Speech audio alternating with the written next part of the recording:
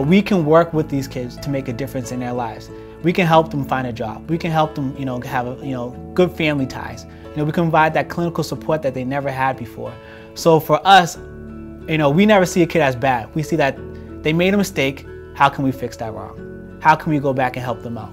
I'm very proud of the department and Eliot for um, supplying wraparound services for parents um, and really teaching them the skills that we're teaching the kids.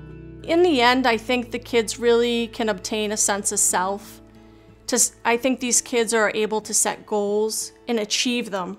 Our goals for when the kids leave our care is that they um, have been uh, equipped with the tools they need to succeed in, in life.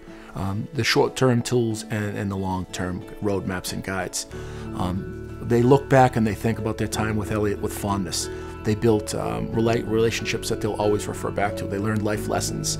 They enjoyed experiences. They built a, uh, a, a, mental uh, picture book of who they are and, and where they want to go. They identified wishes and dreams, and they're in the position to follow them.